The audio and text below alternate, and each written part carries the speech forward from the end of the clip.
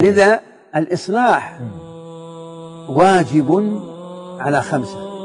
على خمسة. لخمسة. لخمسة. لخمسة. نعم. من هم؟ الأب مم. والأم مم. وما علوا الأخ والأخت وما نزلوا. والعم والعمة والخال والخالة. هؤلاء لا يمكن أن تقطع.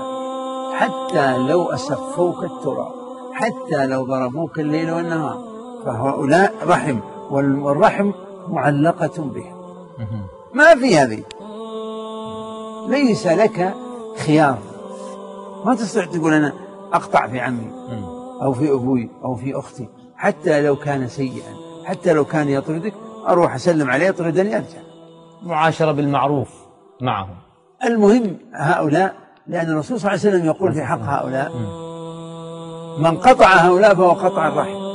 ويقول صلى الله عليه وسلم قاطع الرحم إذا جلس مجلسا نزعت الرحمة منه. يطرد الرحمة.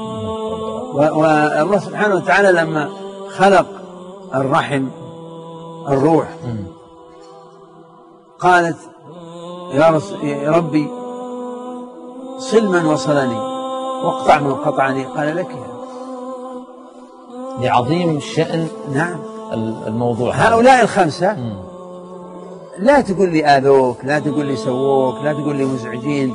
شكوى لله. أروح أنا أدي واجب. أروح لعمتي لخالي لأخوي لأبوي لأمي. لا يمكن أقطع.